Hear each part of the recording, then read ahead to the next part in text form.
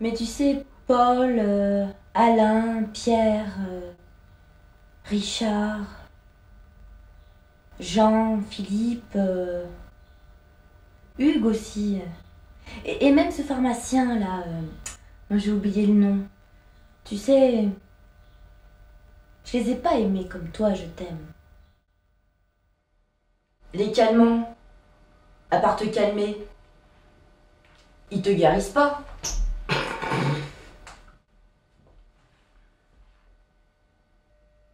Chérie, avec le physique que tu as, tu ne peux pas te permettre de ne pas être féminine.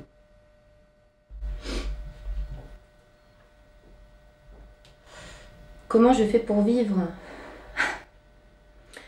Ben, je, touche le RMI, plus euh, les allocations familiales, euh, 1500 francs par mois, donc plus le RMI, ça fait 3600. Mais je ne remercie pas l'État français. Non.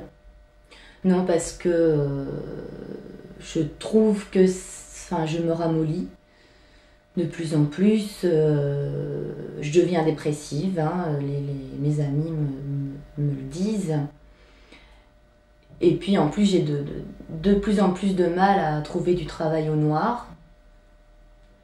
Donc, euh, non, ça remercier l'État français, non. Comment moi faire pour vivre en France? Très difficile. Oui, très, très difficile.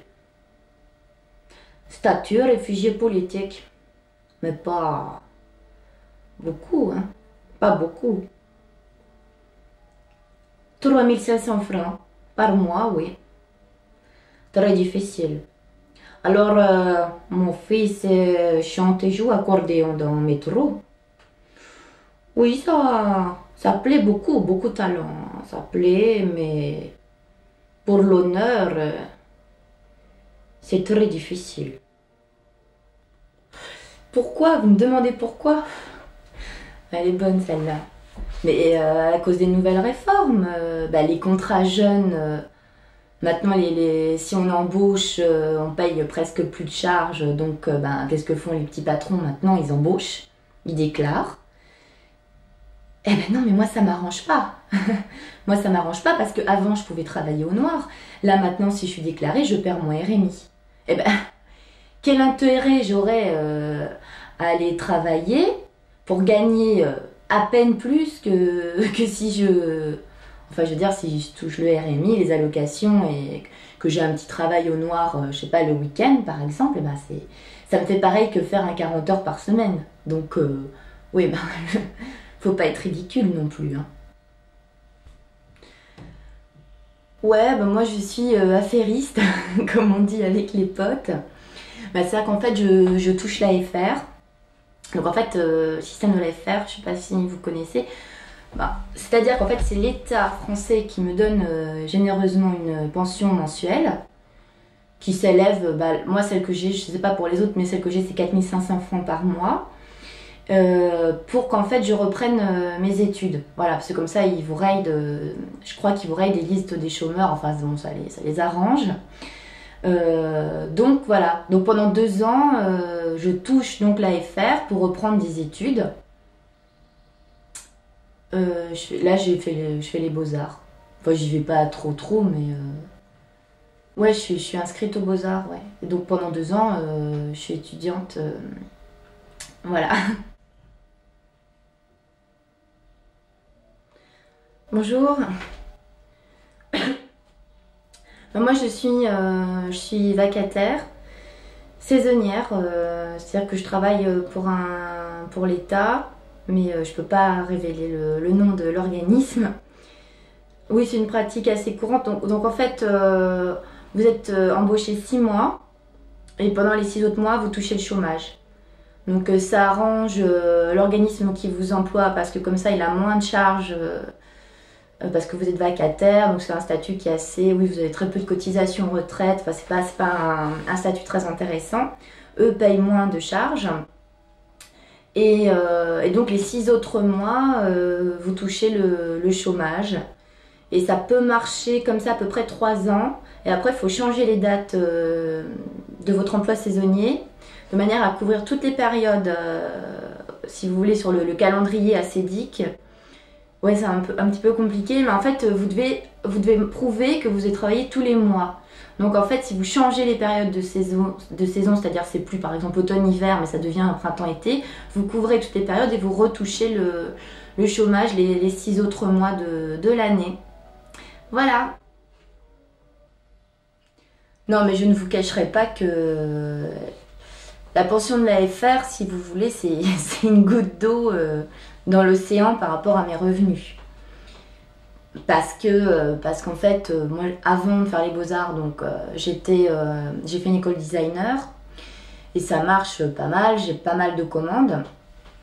Donc si non mais ça je le dis pas je le dis pas à la CEDIC hein. donc par contre le problème si vous voulez en tant que statut indépendant c'est que j'ai pas de, de sécurité sociale et euh, bon, euh, c'est une méthode, si vous voulez, là, d'être couverte. Parce que, je sais pas, moi, si j'ai une bronchite, enfin, bronchite plus euh, médecin, médicaments, etc., ça peut revenir à 300 francs. Bon, je préfère, être couverte. Oui, parce que l'AFR donne droit à la sécurité sociale gratuitement. Plus la pension des 4500 francs. Donc, si vous voulez, c'est, c'est pas négligeable. Et bah, pour le moment, ça marche comme ça. Oui, je suis, euh, je suis artiste, artiste de peintre. Ça doit se voir, je crois. Ah, pour vivre, moi, pour vivre, euh, je crois que j'ai un peu tout fait. Hein. J'ai, j'ai touché le RMI. Non, maintenant, je ne touche plus. Euh, j'ai, bon, évidemment, touché le chômage. Et pendant ce temps-là, je, je, cotisais aussi à la Maison des artistes. Mais comme les, les deux caisses ne sont pas reliées, je pouvais avoir les deux. Euh, j'ai même euh, fait euh, l'AFR pendant deux ans, j'ai touché l'AFR. Qu'est-ce que j'ai fait d'autre encore Ouais, toucher le chômage, j'ai dit. Ouais, j'ai un peu tout fait, sauf réfugié politique, je crois. Ça, j'ai pas fait.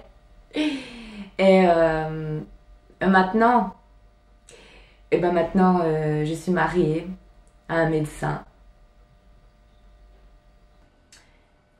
Eh ben tu vas d'abord me traiter ces cheveux gras et ensuite tu te permettras de venir me donner des conseils.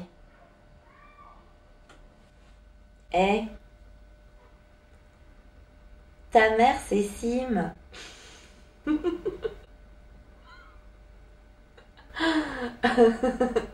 et si j'ai pas envie d'être intelligente?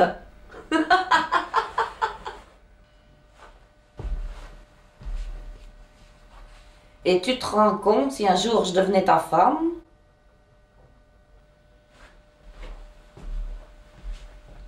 Et tu te rends compte si un jour je devenais ta femme? Tu veux pas m'embrasser? Pas histoire qu'on se réconcilie. Des fois j'ai l'impression que tu m'aimes plus. Si j'ai envie que tu m'aimes.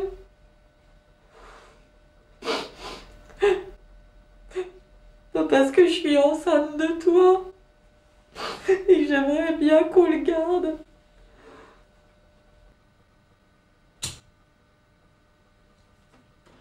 Ouais, je suis actrice. Bah, le statut, c'est intermittent du spectacle. Oh, la question, l'autre qui tue. Bah ça va quoi. bah en fait, t'as plusieurs solutions parce que bon, maintenant, ces connards, ils ont changé les règles. Maintenant, il faut 507 heures dans l'année. Alors, ils nous font bien marrer parce que bon, bah, on triche quoi, je veux dire, on change tout. Bah, c'est-à-dire, euh, si t'as des répétitions par exemple, bah, on te les paye comme si c'était des cachets, comme si c'était des représentations tu t'arranges de manière à avoir tes 507 heures et puis basta.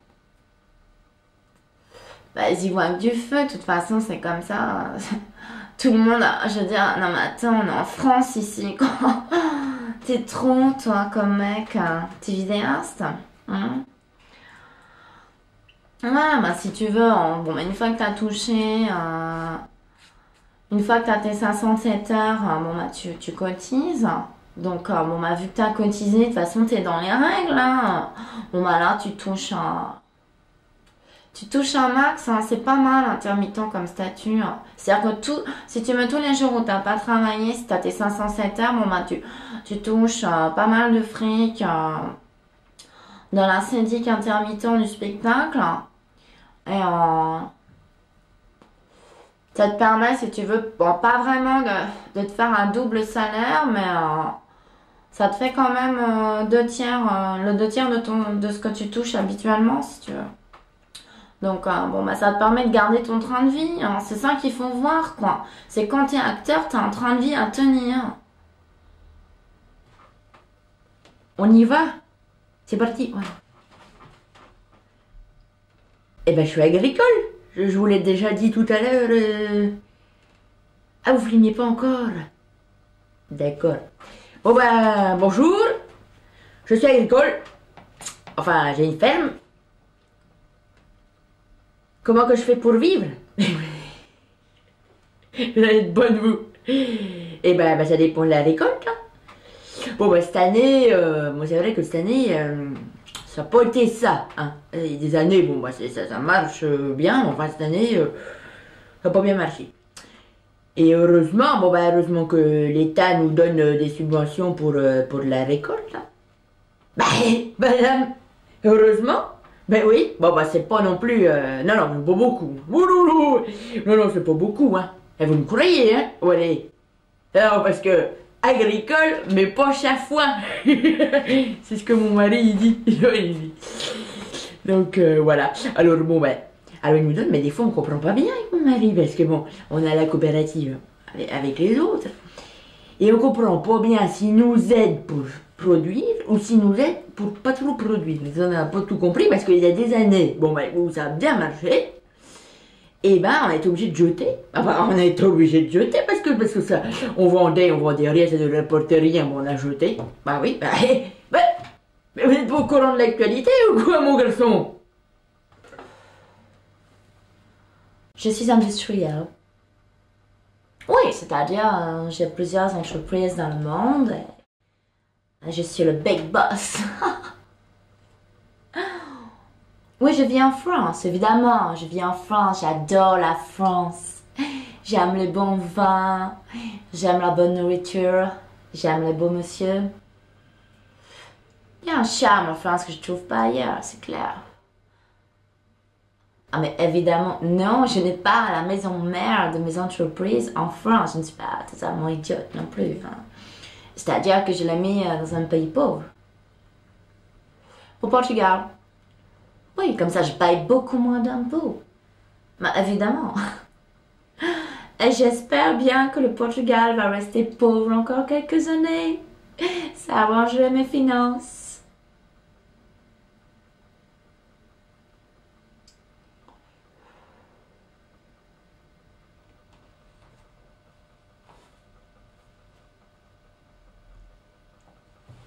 Bah, je suis femme de ménage.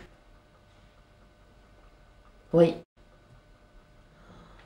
Bah, on me paye en chèque emploi-service et puis, bah, quand, enfin, quand on, quand on me déclare et euh, voilà quoi. Bah, mon mari, lui, euh, mon mari s'occupe de la maintenance dans un supermarché. Puis, il en a fait des bêtises, lui. Bah, parce qu'il a, il a pas arrêté de, de cumuler des, des petites choses et puis ben il a eu un redressement fiscal. Ben, il y a quelques années, il a. Il n'avait pas déclaré 6000 francs. 6000 francs. Non, pour l'année. Ben, il s'est fait redresser, hein. Moi, je lui avais dit, hein. Je lui avais dit qu'il fallait être honnête. Mais il n'y a pas de raison. Il n'y a pas de raison que les grands, euh, les grands hommes politiques, eh ben, euh, pour, euh, pour leur malhonnêteté, ils sont punis. Hein, parce, que, parce que la France fait son travail, il n'y a pas, de raison que les petits payent pas. Il n'y a pas de raison que les, les petits soient malhonnêtes et qu'on leur dise rien. Non, non, on est, on est comme les grands, on est pareil. hein. C'est l'égalité. Bon, bah voilà, il s'est fait avoir, hein, ça je lui ai dit. Hein. Voilà. Quoi est-ce que je fais? Je me je m'occupe euh, d'une boutique de Devant ton gros, euh, dans le sentier à Paname. Pourquoi? C'est la police? Quoi? Non mais attends là, il va où l'autre pignouf? Tu veux pas que je te raconte ma vie, non? C'est quoi ces questions à la mort Allez, pignouf, tire tes arpions là. Tire tes arpions, je te dis, euh, tu commences à me courir. Toi qui entres dans la cité, ne cherche pas aussitôt à y faire ton nid. Attends. Regarde. Place-toi peu à peu en position de combat pour assurer ta protection. Ainsi parla René de Valeris, surnommé le songe creux, quoique mort vaillamment en guerre le 2 janvier 1917. Bah dis-toi bien que chaque fois que tu vois une jolie maison, quand tu es en train, tu crois qu'elle est jolie mais en fait elle est moche. Ouais. Ouais parce qu'en fait elle te voit et ça la rend moche. Non, ça va pas trop, non. Bah, si tu veux, mon penchant affectif euh, aussi. Entre des pédants qui, qui, se regardent le nombril et qui croient ainsi qu'ils vont refaire le monde. Des snobs, quoi. Et euh, donc ça aussi entre ça et, des types sympathiques euh, mais qui se sont mis des, des œillères euh, pour pas grandir. Des chevaux, quoi. Et je doute. Attends, attends, on va faire un truc. Tu vas, tu vas me cadrer hyper serré et en plan fixe.